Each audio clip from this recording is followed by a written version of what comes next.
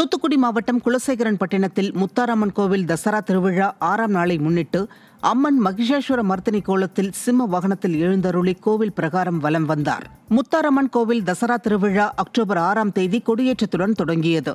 இந்த நிலையில் நடைபெற்ற ஆறாம் நாள் திருவிழாவில் அம்மனுக்கு சிறப்பு அபிஷேகம் மற்றும் அலங்கார தீபாராதனை நடைபெற்றது.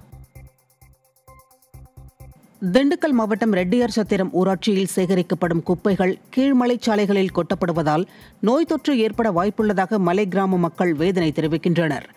ஆடலூர் பகுதிக்கு செல்லும் சாலையில் மலை போல் குப்பைகள் குவிக்கப்பட்டுள்ளதால் அப்பகுதியில் துர்நாற்றம் வீசுவதாக கூறப்படுகிறது. இதனால் பல்வேறு நோய் தொற்றுக்கு ஆளாவதாக தெரிவிக்கும் கிராம மக்கள் ஊராட்சி நிர்வாகம் குப்பைகளை அகற்ற உடனடியாக நடவடிக்கை எடுக்க வேண்டுமென கோரிக்கை விடுத்துள்ளனர்.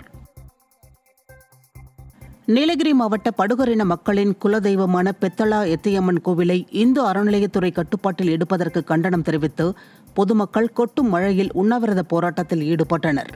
கோத்தகிரி அருகே பெத்தலா கிராமத்தில் உள்ள எத்தையம்மன் கோவிலில் பாரம்பரியம் மாறாமல் படுகரின மக்கள் காலம் காலமாக வழிபட்டு வரும் நிலையில் இந்த கோவிலை தமிழக அரசின் இந்து அறநிலையத்துறை கட்டுப்பாட்டிற்குள் கொண்டுவர உள்ளதாக அறிவிப்பு பலகை வைக்கப்பட்டது. இதனால் ஆத்திரமடைந்த கிராம மக்கள் எத்தையம்மன் குறித்த பாடல்களை பாடி உண்ணாவிரதத்தில் பங்கேற்றனர்.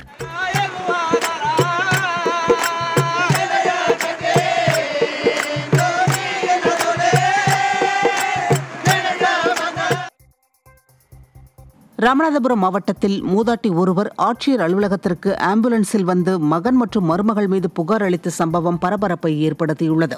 பொட்டக வயலை சேர்ந்த மூதாட்டியான முத்துலட்சுமி என்பவர் உடல்நிலை சரியில்லாத தமது கணவர் சண்முகத்தை ஆம்புலன்ஸில் அழைத்துக் கொண்டு ஆட்சியர் அலுவலகத்திற்கு வந்து மனு ஒன்றை அளித்துள்ளார். அதில் தமது மகன் மற்றும் மருமகள் சொத்துக்களை ஏமாற்றி எழுதி வாங்கியதாகவும் அதன் பின்னர் தங்களை வீட்டை விட்டு வெளியேற்றியதாகவும் தெரிவித்துள்ளார். மேலும் அவர்கள் மீது நடவடிக்கை எடுக்கவும் சொத்துக்களை மீட்டுத்தரவும் மனுவில் கோரிக்கை விடுத்துள்ளார்.